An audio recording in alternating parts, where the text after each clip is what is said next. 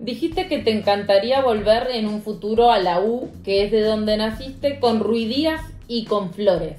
Ese equipazo, ese tridente ofensivo, ¿para qué estaría? Si bien es cierto, en un futuro a uno le gustaría jugar en, el equipo donde, donde se pudo formar.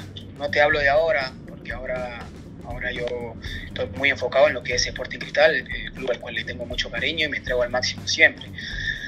Pero en un futuro está, claro que, que, me gustaría llegar junto a, como lo decías tú, a, a Edison, a Ruiz Díaz, eh, eh, bueno, a Andy también.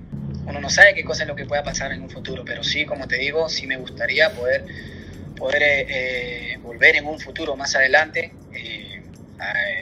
junto a, a, Edison, a Ruiz Díaz, a, Andy, que son, son muy amigos y, de equipo que hemos estado juntos.